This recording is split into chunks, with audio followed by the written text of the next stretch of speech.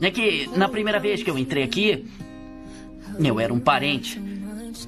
E nos últimos seis anos, foi como se eu fosse da família. Dos meninos todos, você é o que me dá mais trabalho. Mas sabe de uma coisa? Você é o único que nunca me preocupou.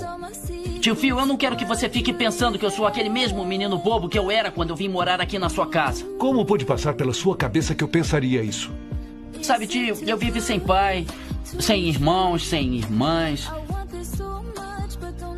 E eu acho esta vida melhor. Eu sei o que acontece lá dentro e é por isso que eu não quero que você vá até lá.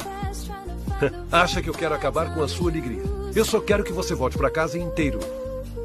Olha só você. Vai morar sozinho, vai terminar os estudos daqui a um ano. Está se tornando um homem.